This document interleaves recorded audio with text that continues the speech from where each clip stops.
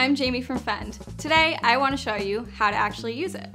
So I like to start by holding it with two to three fingers on the top and my thumb on the bottom. You should hold it however is most comfortable for you so that you can squeeze it firmly. You'll hold it a few inches away from your face, about three to five, Three fingers on top, thumb on the bottom, squeeze firmly and hold while inhaling. I'll show you how it looks.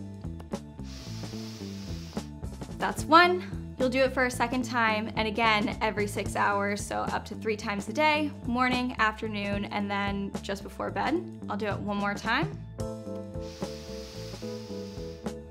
So I'll do that again in six hours. How do you like to fend? Breathe better, breathe easy.